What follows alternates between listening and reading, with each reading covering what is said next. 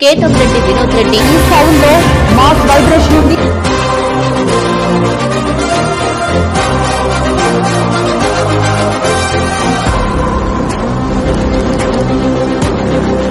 అన్న